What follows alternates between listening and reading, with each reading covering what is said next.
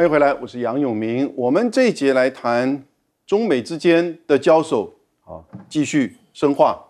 那在军事的层面，哈，那其实自由时报这边报道，把 MQ 九拆解装进这个 C 幺七的这个机枪机舱，美军在新加坡的航空展览要秀它的远程投射能力啊，远程投射能力。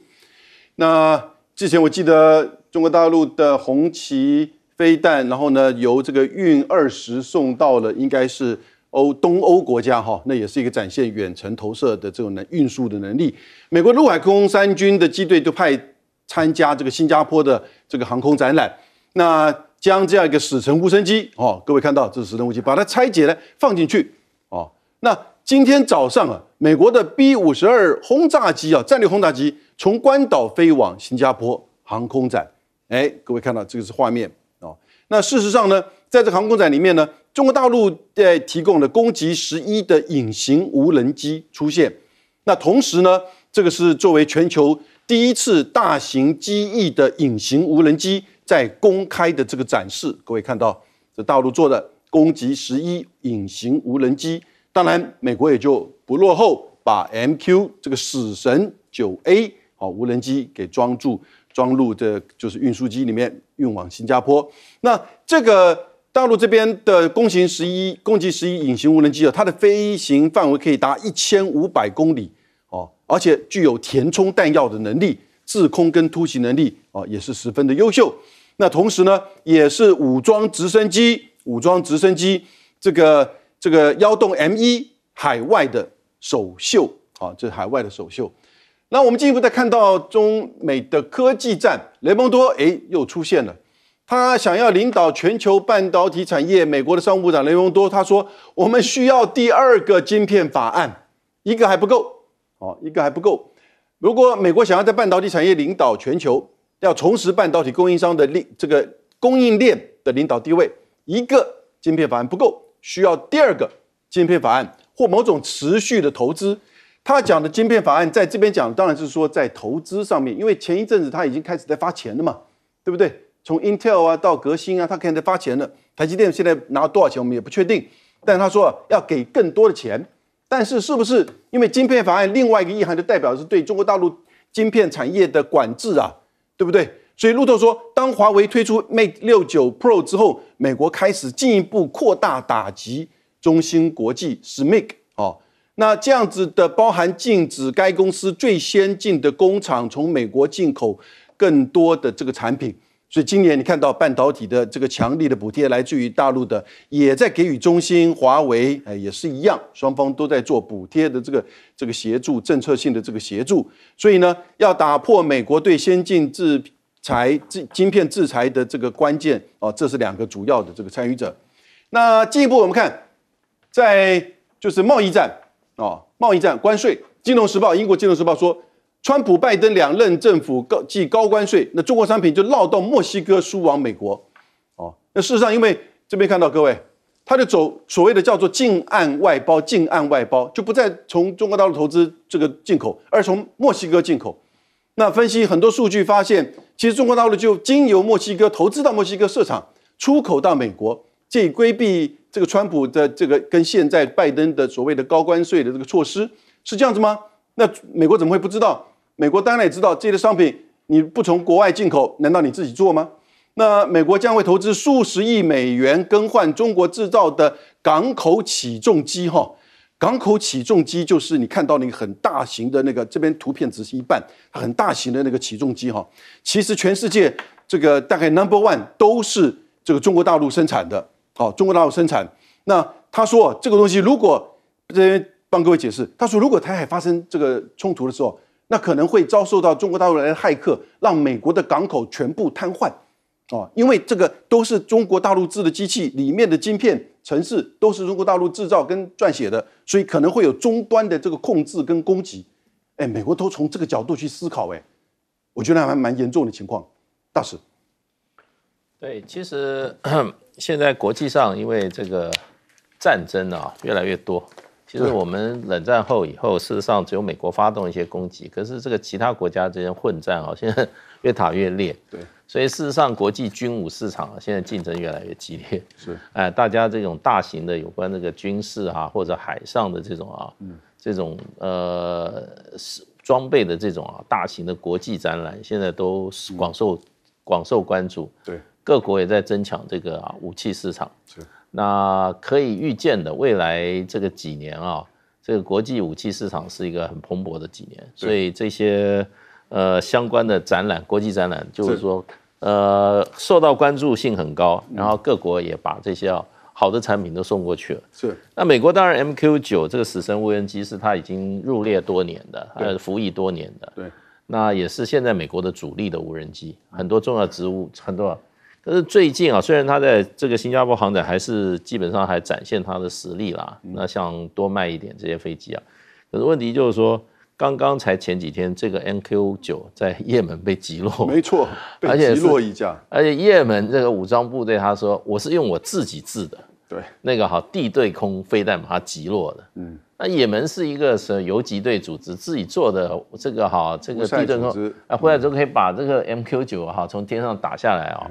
那 NQ 九对这个 NQ 九哈，这次到新加坡，虽然他把它拆解了，用飞这个运输机运过去啊，可是可能对 MQ 九这个销售可能会有影响，蛮糗的。对，相对的中国大陆这次送去的这个哈，对，这个攻击十一是，它是世界上第一台隐形无人机，嗯，哎，它是，而且中国大陆事实上这个飞机也算蛮成熟的，因为它二零一六。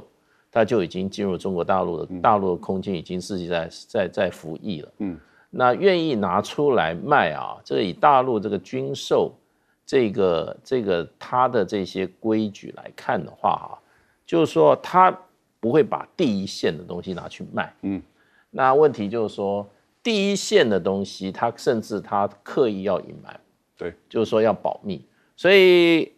这个攻击十一型愿意到这样子的场哈公开亮相哈，就表示它的武器系统里面有另外一些更先进的，哎，更先进的已经已经在在那边在在那边了。嗯，所以就是说这一次的这个中国大陆另外一个还有一个啊武直十 M 一呀，这个也是实机飞过去，这个就是说真的直升机，哎，实实双直线飞去，可见中国大陆第一个装备的先进性哈有信心去跟美国啊俄罗斯的这些装备讲。第二个，中国大陆也很重视这些市场，是。那么可能就是说，在国际国际军武市场竞争上，中国大陆哈准备一展一展哈一展实力。好的，将军，哎，这个这个美国说要把起重机哈换掉，我只能说哈哈哈，笑话来讲。港口起重机。为什么呢？因为现在美国有 百分之八十都是用中国这家叫什么呢？叫振华起重机，对对不对？它有百分之八十。你知道，同样一台起重机在美国，如果它人工去造的话，要一亿美元。嗯，然后振华它做多少钱呢？大概八千万美元，它只有它的八折的价位。那你现在已经买的东西，你把它全部拆掉，然后你美国自己做，第一个你有没有这个工资？第二个你要花多少钱？那你之前的投资百分之八十的机器你都把它拆掉的话。那你这个这个一得一失之间，你要花多少钱？第二个，你技术做得到做不到？其实振华来讲，已经是全世界讲了物美价廉的一个产品。你现在要把它全部拆掉，你说这个远端控制有没有可能？那当然是远端控制了。他为什么讲它远端控制呢？因为振华它卖多，它这个起重机卖到全世界所有国家。对。那如果说是这个机器有些什么问题来讲损坏或必须要维修的话，它就可以远端来维修。嗯，那美国担心是担心这一段了。OK，但是你怎么去面对这个问题？就是说，你既又担心，可是你又必须要用它。嗯，所以我们以前有一个大家讲拜登叫他叫什么？你知道拜振华？你知道？就是就是这个起重机，因为他在那个起重机前面。照了一张相，他说我们都要 made in USA，就是要东西都要从美国制造。但是他那张照片的后面，他把那个振华用国旗美国国旗把它遮起来，就没想一阵风吹过来，把国旗吹掉，露出来振华工业，就变得很糗。所以就人家就给他开个玩笑，叫振华这个这个拜振华。大概是因为这样子，他决定要把那个换掉。对，第二个我想说。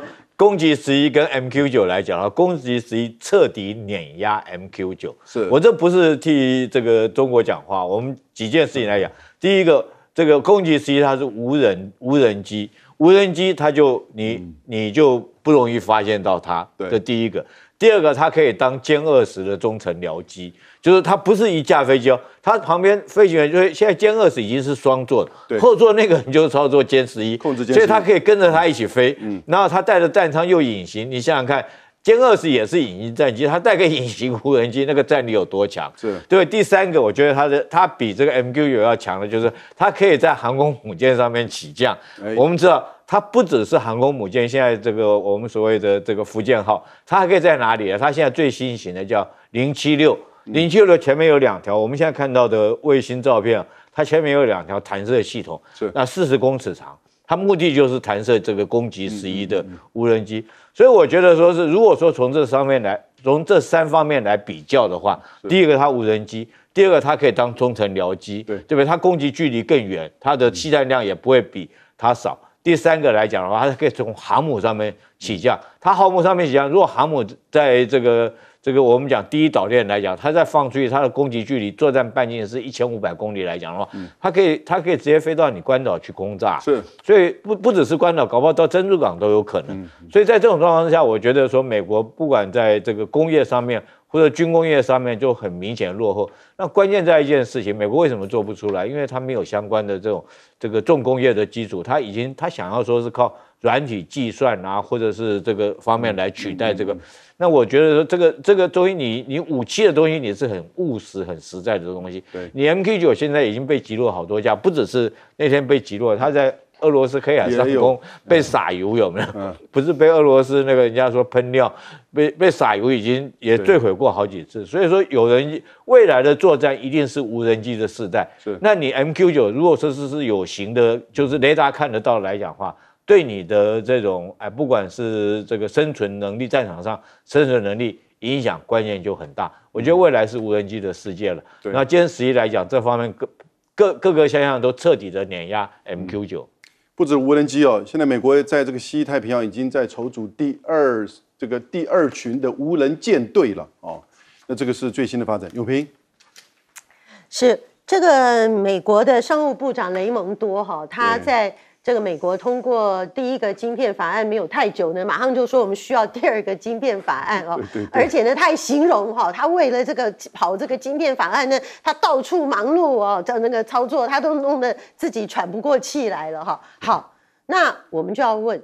这个雷蒙多呢，他气急败坏哦，要推动第二个晶片法案，所谓何来呢？其实第一个不外呢，他要扩大哦对中国大陆的呃禁止输入美国的这个晶片的那个范围，它要扩大。因为第一个晶片法案它可能限缩在你用呃高科技啊、那个军事武器啊什么的。第二个呢，它现在它现在稍微有透露，也许以后车用啊，或者是一些对这个呃民生适用的，它还是要进一步的打击呃中国大陆这个产业。那第二个呢，它其实要做什么？它其实呢，希望第二这个授权美国政府更大幅的补贴对晶片产业。好了，那问题是这个矛盾在哪里呢？第一个，今天。美国整天指控中国大陆哦，认为贸易不公，我要加关税干嘛干嘛的。他讲的就是说，因为你们这政府整天都在补贴你的企业啊。好，那你今天你自己政府也来补贴，对这算什么事？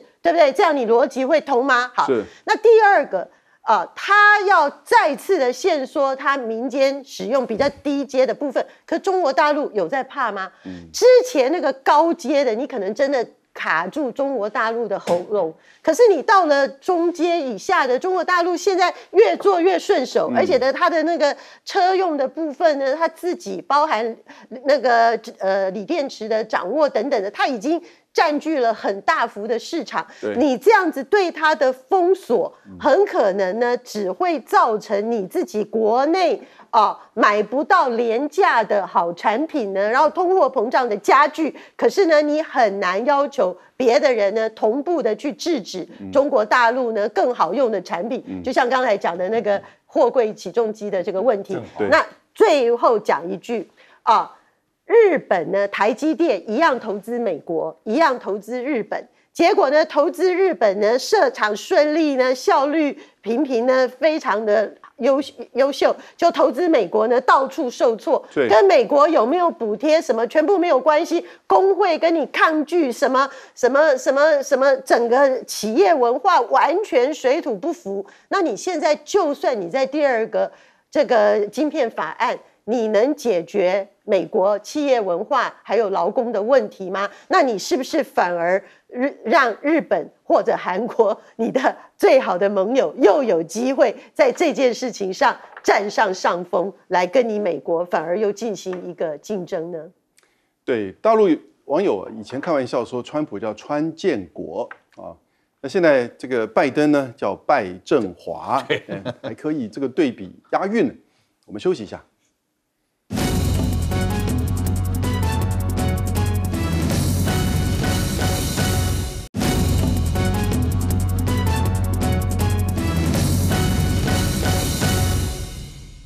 我是杨永明，我们继续来看国际新闻哈。那集团体现在正在巴西举行他的外交部长的会议，王毅没有去，哎，由副部长马朝旭来代替。那当然，布林肯还是去了哦。那参加这个集团体的外长会，那韩国跟日本的两个国家的外长，你看日本的外相上川洋子跟韩国的外长叫赵瑞烈。啊，两个人就握手在巴西，在基团体的这个外长会议讨论什么呢？朝鲜问题、北韩问题。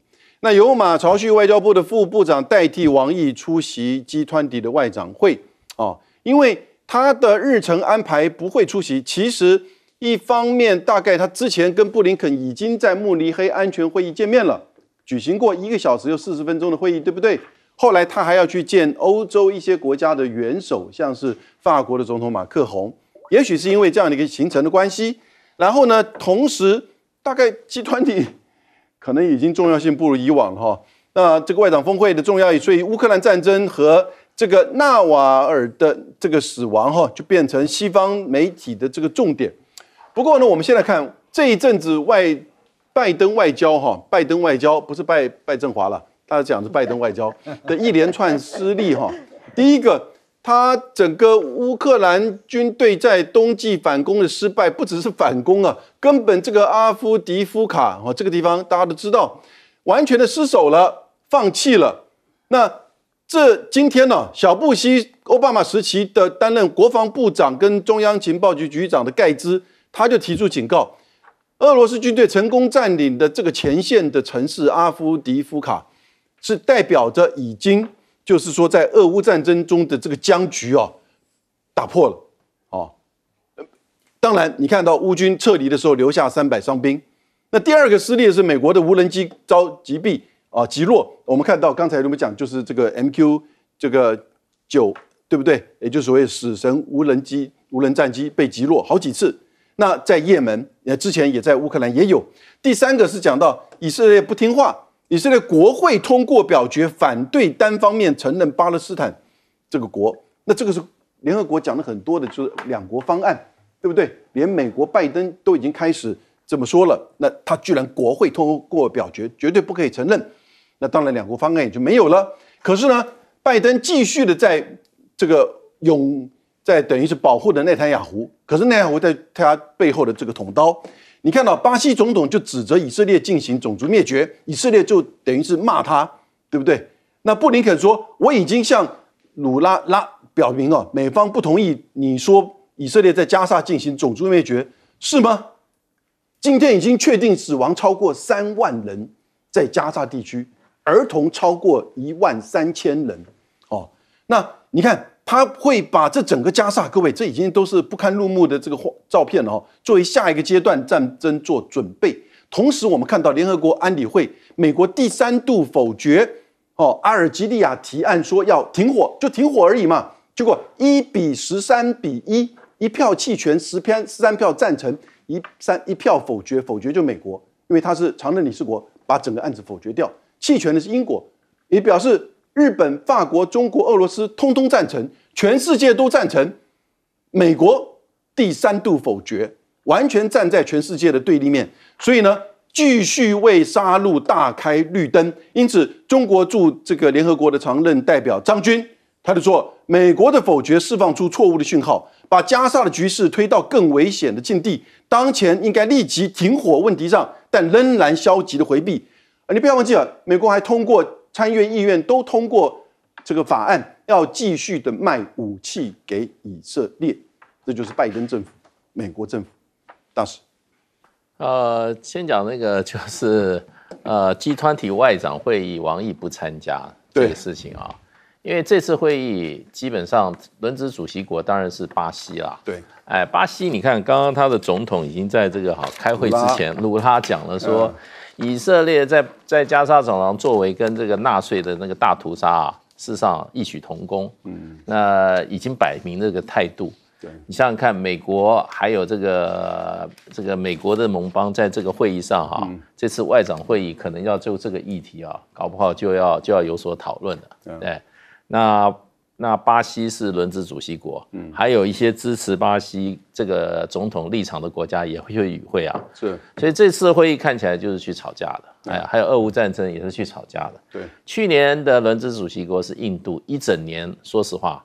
有关外长会议都在吵架，对，都在吵什么？俄乌战争，也没有通过任何的声明，因为就是美国要在这个会议上面要通过声明啊，对。啊，我们通过一个共同宣言啊，去谴责印度啊，不去谴责哈俄罗斯。俄罗斯侵略啊乌克兰，对，结果第一个俄罗斯本身也是这个集团体会员，然后俄罗斯还有一些朋友，所以那个会议外长会议啊一事无成，每一次会议都是吵架，对。那去年的这个印度做这个轮值主席国的时候啊，然后他的峰会的时候啊，两个重要国家元首都没去，嗯，一个习近平没去，嗯，习近平没有出席，第二个普丁也没去，对，结果在开会的时候之后呢，美国纽约时报就写了一篇专文，他说啊，这个啊，集团体是否还有存在的必要？哎，好问题，知道大国不参加这种国际组织，基本上就没有什么意义了。是的，然后他也说，最近三年集团体事实上没有任何的具体的这种哈。这种哈有对世界有贡献的决议案出来，基本上就在吵架。所以王毅哈事实上也很忙，他这一个他用的理由就是说我在法国跟西加西班牙有重要的访问，是啊，所以这次会议我就不去了。其实对中国大陆做的决定也是不容易的，为什么呢？因为大陆跟巴西的关系是非常好，哎，也是不错啊。会议本身有问题，可是也要给巴西一个面子啊。是，可见这个最后还是决定不去啊。我觉得。可能大陆的评估说这次会议啊，可能有些议题啊，又是浪费大家时间，又要吵。对，那这次我想会吵的，除了会吵这个，当然俄乌战争啊，美国是不会放弃任何机会啊，在这种场合啊，谴责俄罗斯的。对，那另外一方面呢，还有就是现在的以巴战争。对，美国又在这个联合国投了一个否决票。是，那你想其他国家会对美国，所有国家通通是赞成的，只有美国一票反对。那大家一起来追，要要跟美国弃权呢？英国弃权，大家要找美国给个说法了。所以这次会议，说实话，到时候就是吵吵闹闹，浪费时间。所以呢，我觉得大陆啊，最后评估还是第一个啦。当然还是要给地主国巴西一个面子，所以派马朝旭去。对。可是呢，王毅就去办更重要事情去了，就这样。谈实事，不需要去吵架。是。来，将军。呃，这个阿夫迪夫卡可能我们台湾比较不熟。我觉得除了阿夫迪夫卡，还有一个地方叫马林卡。这两个这两个城镇，大家都认为说，呃，乌克兰只是丢掉一个一个城市，有这么严重吗？嗯，我跟你讲，非常严重。是为什么？第一个就是他来讲，他等于是说在这边经营了十几年，是一个步炮联合的一个坚强的一个堡垒。是。那第二个。我们用兵来讲，最大一个有几个用兵的原则，其中有一个很重要的一个原则，叫做先求全军，次求破敌。也就是你要先保存战力，你再想办法去打胜仗。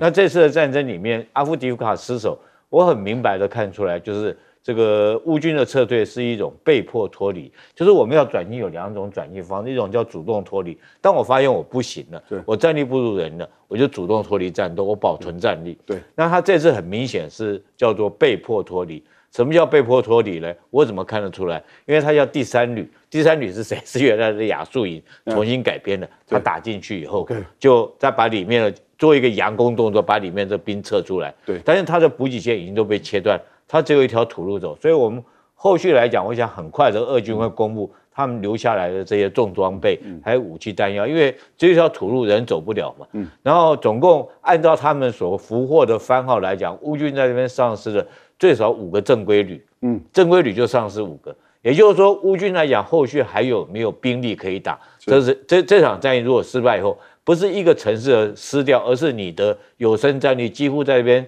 损失殆尽。那大家都会估计说，哎，这场战争会不会俄乌战争会不会到转捩点啊？会不会拖到？这个明年了，我觉得如果经过这场战役，会不会在今年就结束了？这很有可能，因为你没有兵可以打了。对。那第二个我要讲说是这个以巴这个冲突哈，大家要知道，以色列现在所面临的不只是这个加沙走廊的问题，它只是虚张声势。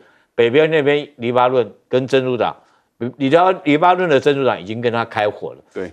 就前两天说开火，后来为什么没有消息？你知道因为中国的维和部队进去了。所以你就知道中国中国在这个地方影响势力有多大。中国维和部队已经进去，联合国还说在对不对？你中国进去那边阻止这边。可问题说叙利亚前两天伊朗的外长去拜访叙利亚总统埃斯阿塞德，他们到底谈什么不知道。会不会利用这机会，叙利亚想把戈兰高地拿回来？另外还有一个重要一个指标观察是土耳其的总统埃尔多安，土耳其跟埃及是断交了十二年。对，然后埃尔多安突然去拜访。埃及的总统，嗯，这隔了十二年以后，两国的元首见面，到底在谈什么？前所是不是跟西奈半岛？跟我想说脱离不了，一定是这个加沙走廊的问题嘛？因为埃及现在威胁很大嘛，他已经扬言了，如果说你你去打拉法的话，我就我就不再承认跟你之间以色列这个和平协议，我部队就要拉进这个西奈半岛。所以我觉得这个地方，如果说美国自己现在投这个一票反对票。然后，如果说是因此而引起全世界公愤来讲，会不会因而造成这个第三次世界大战？我觉得可能性是很大的，这也是必须我们台湾自己要注意的。埃及现在经济状况非常不好啊，然后呢，人民对政府也非常的不满，所以它的政局也非常不稳。如果这个情况再恶化的话，其实它会变成扩大，变成一个区域的不稳定的来源哈。来，永平。刚才厉将军讲的这个令人觉得非常忧虑的前景哦，那我们也来看看说美国为何在全世界已经差不多都表态。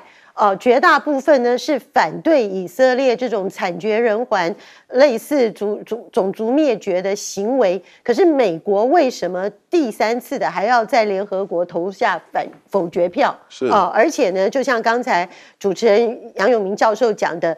一比十三比一，英国起码投下弃权票。我要跟各位说明一个美国很重要的政治时程，现在是二零二四年二月，美国今年年底十一月选举。现在美国的政治人物、政客们都在干嘛？这是他们正在募款的。最关键时期，这就是他们的 fundraising 不断在开募款参会演讲跟金主会面的时期。对，那美国的金主啊，当然共和党更多一点啊，民主党少一点，但是现在基本上已经不太分了，两边都都有。就是美国的金主呢，这个非常有钱的犹太人的金主呢是。极度支持以色列啊，反对巴勒斯坦哦，不管什么两国方案、建国什么的，他是极度反对的。嗯，这些金主可以离谱到在美国都直接发生干预这个大学。自由啊，直接要求那个最好的学府常春藤啊，Ivy League 的学府的校长，大学、宾州大学，对，通通都受到压力，只因为他们没有站在以色列这边的言论，辞职下台。金金主直接要求说，我投资，我给你学校这么多钱，你要这个这个校长必须要下台。对，就是说这些金主的这个作风如此的跋扈，而且这个。从我们人道的角度啊，其实相当的丑恶。可是呢，他们现在是美国这些政客，他们正在参与初选，然后之后要打大选，要做多少的电视广告，要要比比赛谁的募款的能力等等呢，都是这些人的命脉啊。所以现在美国。真的不分朝野，不分民主共和两党，他们绝对都要非站在以色列那边。为了什么？就是为了钱。对，所以啊，各位要知道，这种政治，尤其选举，如果你又被金钱绑架呢，那个是非常丑恶的，那个是没有人道，那个是没有人性，那个是没有真的尊严，不会考虑弱势。大家全部在讲说，你看啊，这个呃可怜的加萨的人，加萨走廊的人民，这巴勒斯坦的人权各方面大声疾呼，美国人所有过去倡导的人权价值呢，通。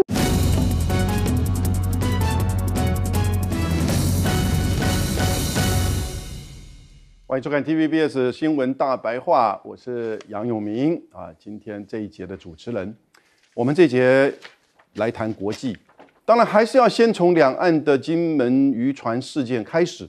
那我们请到了评论人，大家都非常熟悉、喜欢的前驻纽西兰大使谢文吉谢大使啊，永明兄好，各位朋友大家好。还有我们前这个战争学院教官，也是小金门的指挥官啊，厉正杰厉教官厉少将。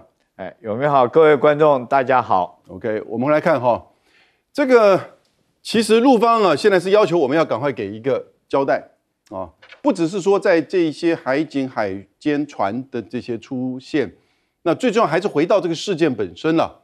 快艇翻覆两死，金门检方有人已经在质疑金门检方了，其实反而是金门检方第一时间是出来说没有录影带，然后呢有发生碰撞才翻覆的，但是呢被质疑是放水。前高检的检察官呢，他就赴监察院举发失职。他现在是律师张西怀，他说本案呢，本案是一个刑事案件，这很清楚。你造成两人死亡嘛，检方必须要查明海巡署的执法过程是否有故意或者是过失，哦，致人于死的情况。但金门纪检署到现在还没有积极的侦查作为。哦在对比海巡人员的证词之前，让两名生还者就离境返路了，甚至公开说本案没有执法录影影像，似乎好像是在为海巡人员背书，因为一直在怀疑是不是有影像，但是因为影像太清楚了而被压下来，会不会有这种可能呢？所以呢，他二十一号就赴监察院举发金门地检署代呼职守，要求监委查明。哈，不过这个监委大概都是大部分现在都是。蔡英文提名的啦，哈，所以呢，我们也期待监委能够发挥这个效用。国台办官员现在是在坐镇姚泉州，哦，然后呢，陈这个赴金门的这个陆方的官员成绩太低，没有办法及时做决定。有多名国台办官员赶赴泉州坐镇，隔海遥控，甚至国台办已经提出申请，要能派金门这个协处，也就是说做进一步的这个调查。那这个事情，国台办真已经要求要成这个公布真相，哦。并且严惩就责。那你看到朱凤莲这边讲，他其实尽快公布事实真相，严惩相关责任人，郑重的向罹难者家属道歉，给罹难者家属和两岸同胞的一个交代。我想，我们台湾人民也希望知道到底是怎么回事，是真的没有录影带吗？对不对？所以呢，海巡人员有没有录影，会怎么样的惩处呢？其实啊，执行的这个艇是十吨以下的 CP 艇，那。他是说密录器不是标准配备，密录器是身上挂的那个，怎么会有四个这个海巡署的队员身上都不同时都没有挂密录器呢？那同时同仁是没有使用密录器，并没有违反相关规定，是这样子吗？对不对？因此这个除了 V 八之外就没有携带密录器，是这样子吗？哦，好像完全跟过去的做法这个不太符合，外媒就开始嗅到紧张的氛围了。因为海警在这个二十一号的时候登检台湾的游轮，哦，要蚕食台海的管辖权，施压赖清德。你看，其实，呃，是紧张吗？还是在煽风点火？我就搞不清楚哈。那中共这边这个是，呃，就是说他是说搬出吃台的这个对台施压的剧本，加大对台法律战的力道，然后呢，是不是要对即将五二零上任的赖清德施压？那 CNN 怎么说呢？大陆海警引发台湾恐慌，这只是北京计划的一部分。外国媒体，你是不是能够跟我们台湾人一样，正常台湾人一样，看一下这个事件的本质吧？对不对？呃，你在那边煽风点火，对台湾真的有帮助吗？学者的分析，陆海警登上金夏巡航船的出日号临检，是因为出日号是观光船，比较引起注意。呃，他试图在削弱及挑战管理水域的能力。各位。出日号跑到人家那边去了，对不对？哦，这些东西路路透就说啊，台湾称尚未加强在前岛岛屿的军事部署哦。舒淇开始在呼吁了哦，他往前看，大陆的海监船进入到金门的禁限制水域啊，这是二十一号的事情。未来大陆海警船会不会也进来呢？啊，这两个是属于不同单位，海警船是属于交通部，那这个海监船啊是属于另外一个单位。那有没有所谓的台湾海峡的剧本呢？甚至台湾本岛的剧本，会不会有空中的剧本？会不会直接的飞越台湾的上空？哦，就舒淇如果这样子不断的这样推下来，哦，会不会这样程度呢？我们等下来请问大使跟将军还有永平哈。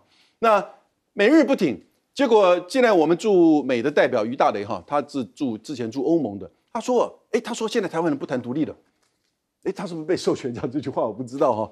他说现在台湾不不谈独立了，你去台湾没有人谈论独立。蔡英文总统所提的四个坚持表示，这是民主党赖清德所遵循的道路。那因此呢，食药署这边又出现了以强尼台配的身份加入 ICMRA，这什么东西？这叫做食药主管，这个叫药政主管单位的国际联盟。哦，药政主管单位国际联盟。但是呢，重点是用 Chinese 台配的方式来加入。过去你看，我们叶金川在参与到当时的世界卫生大会 （WHA） 的时候呢？也是以 Chinese Taipei，哦，然后呢，对方在文件当中还称他为部长，对不对？所以呢，这样子的作为跟你现在比你更进一步。可是当时他被这个被大骂，被赖清德还有一些人管碧玲、赖清德哦大骂是丢台湾人的脸。呃，刚到的永平，呃，前台北市这个副市长也是我的好同学。呃，主持人好，大家好。来，永平，请你评论。其实这个案子哦，我觉得发展到今天呢，嗯，大家应该要有适度的警觉性啊，要确实紧张，因为说实在话了啊，两岸的问题，我们最害怕的叫做所谓擦枪走火。那什么样叫做擦枪走走火？就是这次这种事件，嗯，哦，这种事件甚至你还没真的擦到枪呢，是你就莫名其妙就走了火。那这件事情呢，随着大陆这个。呃，幸存者、生还者两位渔民回到大陆去，他们的实际的口述呢，我觉得有把这个火呢更烧得旺的态势。为什么？因为我也看了他们的那个视频。坦白说，我觉得从一个呃一般人民的感感受来讲呢，会觉得说他们既顾大局啊，也没有真的很。故意煽情的指控，哦，然后就觉得他们讲的非常的有可信度，因为他们就说他们那那个小的船看到这个巡防舰，他们怎么可能朝他冲去呢？他说我们自己又不会翻船，就他把我们撞翻了。好，那现在麻烦麻烦在什么？麻烦在我们的海巡署的船呢，竟然说他们没有录影带。对他们，那这件事情现在完全说不通的一点呢，是大家知道，其实立法院曾经做过决议，耶，对，是。基层的海巡人员呢，只要上船，一定要带密录器耶。是，这是立法院之前做过的决议，而且海巡署当时也做过的承诺，哎，是，包含呢，我们过去甚至在更早之前，呃，还没有这个海巡署这个决议之前，当时处理过这个呃金夏海域台湾的这个呃实际。哦，处理这个业务的，不管当时的这个军官或者是怎么样，他们都说他们一定会呢，到了一定距离呢，一定立刻开全程的录影。对，也就是说，哦，而且现在我觉得台湾真的非常雪雪上加霜，我觉得管碧林真的很差劲。是哦，虽然他五二零一定会下台，好，可是我觉得象征性来讲呢，现在就应该叫他下台。为什么？因为第一时间你如果没有录到影，啊，如果你的没有密录器，没有录到影，密录器你违反立法院决议，你没有作为标准配备，如果一切为真的话，那你第一时间就告诉大家说，对不起，我们没有录影。对。对不对？结果呢，你在那边躲闪右闪，讲的各各方面的这个不知所云之后。拖了那么多天，直到大陆的惊慌失措的这个渔民终于回到家乡土地啊，心里难过哽咽的时候，说出真相的时候，你才说你没有录影带，那你是取信何人呢？那大陆的情绪啊，大家真的想想看，我们将心比心，当年台湾不是有渔船那个广大星号在菲律宾那个让我们的这个渔船。人死死亡了吗？大家那时候台湾多难过，甚至有发生说菲律宾人到那个。餐厅去都被赶出来，说：“哎，我们不接待菲律宾人。”那你大家可想而知，大陆朋友现在什么心态？尤其是说，呃，厦门、福建的朋友跟台湾呢特别感情深厚，大家过去呢有很多很好的互相相助的状况。那这个时候呢，突然感觉好像被好朋友背后插刀，那种心情，那难怪大陆现在情绪呢会非常的高涨。我觉得。我们这个时候，你看到管碧玲不但的没有想办法要降低啊这个冲突的态势，他反而呢在立法院质询啊，有立委问说，那我们的渔船各方面怎么办？哦，他叫他们说，这个看到看到人呢，你立刻就跑啊！说真的，你如果真的越界了，这个我们将军在这里啊，你如果呢没有好好的在那边啊，大家。把这个状况降低，反而呢给对方觉得说你是不是有所不利？好，大家就知道嘛，你不要讲船了，车子的对峙、空中对峙都一样，你应该要暂停嘛，你应该要稳定嘛，对不对？你要先假设对方不是完全要跟你开战或不利嘛，你不要做出让人家误解的行动嘛。结果管碧玲这说法真的是要陷我们的这个渔民。与怎样不利的处境，还有我们的以后的这个观光船的安全呢？所以我真的觉得说，民进党政府荒腔走板，而这些外媒呢，很多都被民进党呢早就把特派员呢驻台记者啊都跟他交好收买呢，造成对台湾我觉得两岸更不利的这个说法，我觉得民进党真的一定要制止了。赖清德还没有就任，你们到底要挖多少坑给他跳啊？我在那边讲一个我的推论的，我觉得这个事情关键在管碧玲，冷血、冷漠、荒唐，哦，那我觉得民进党你真的真的要为管碧玲去撑到底吗？因为他是要准备选下一届的高雄市市长啦，了解了没有，李将军？跟副市长报告，这个枪已经插了，火也点着了，火是谁点着的？就是管碧玲点着的。你刚刚讲一句话，我先回答你。管碧玲说：“我们大家一起，哎，他说这个海，哎，观光船以后遇到海警来巡查的时候，不要理他，我们继续跑。我们请管碧玲示范给我们看，对不对？你带着你的国安团队，将军你太赞了，我要给你按好几个赞，真的。管碧玲你就去示范。”你就去坐船，然后就跑给大家看是怎么样子操作。你跑给大家看，你你你你你看你做你做给我们看嘛。你今天是海委会主委，你有这个责任呢。我我跟副长报告，你真的有这个责任要到第一线去看看到底怎么回事。哎，那你跑给我们看。第二个我要讲哦，其实这个东西你只要说你一个部会级的首长，你一旦说了谎之后，后续来讲你没有办法，人家不会再相信你的。你第一时间你就说谎嘛。我我我们不要讲有没有差状，我们只讲一件事情。你当初你说的是这些人的乡音太重，四川、贵州的口音，我们没办法做笔录，因为乡音太重，我们听不懂。昨天我一听很清楚啊，那讲每句话我们都听得懂，就证明你什么？你说谎，一个部会级的首长说谎是很严重的事情。你之后你再讲的任何话，没有人会相信的。你说你插状有没有密录器或这些东西，就已经不会有人再相信了。是我跟各位讲哈。这个不是密录器，另外还有很多证据。海军署他们在金门有什么叫做暗记的一个雷达监视系统？对，它这个雷达监视系统可以监视到三板级的大小。你不要说那条渔船，所以三板级它都可以监视到。是。另外还有一种东西叫做这无线电通讯的录音带，嗯，都都有证据，但是他们现在都不拿出来。啊，到底当初是谁下的命令，要怎么样作业，怎么怎么面对，怎么处理，这都有录音带。对，你这时候应该要公布嘛。但是如果你现在还不敢诚实的面对，你去做这件事情，我跟你讲，这个火哦只会越烧越大。另外一个我要特别讲，海警船跟海监船不一样。对现在金门地区之前有的叫做海警船，海警船就像警察一样，骑个摩托车，在金门那边大概就是骑个摩托车，我巡查一下。他不但他目的不是对你对你金门的渔民，他巡查他们自己的渔民有没有这个滥滥呃违法捕鱼或者走私偷渡，他主要是执行这种任务。那海监船是什么？是军舰改装的。嗯军舰改装以前只有在钓鱼台，它是监视敌人敌人的军舰，它有充分的雷达系统，包括对空对海，还有侦甚至于对潜艇的侦视系统。对那它以前只有在钓鱼台，因为宣示主权。他现在开到金门来，是不是告诉你说金门就是我的辖区？我觉得这个代表了象征意义最。我最后再讲一句，这件事情来讲的话，可能还不会烧起来，什么时候会烧呢？